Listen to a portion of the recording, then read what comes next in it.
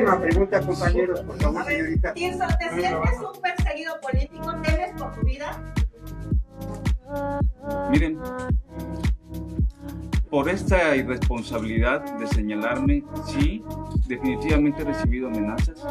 Eh, mi partido pidió a la autoridad electoral, al IECRO, pidió que se me asignaran allá protección porque hemos recibido amenazas tanto Tirso Esquivel como mi esposa, mi familia.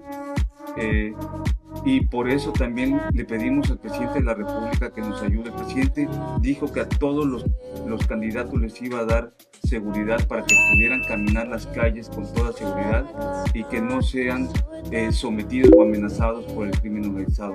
Nosotros pedimos esto y les digo una cosa, no me siento perseguido político, pero no se vale lo que hicieron en mi casa, no se vale.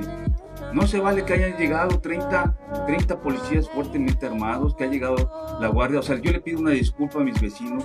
No se vale esto. No se vale actuar con tanta prepotencia.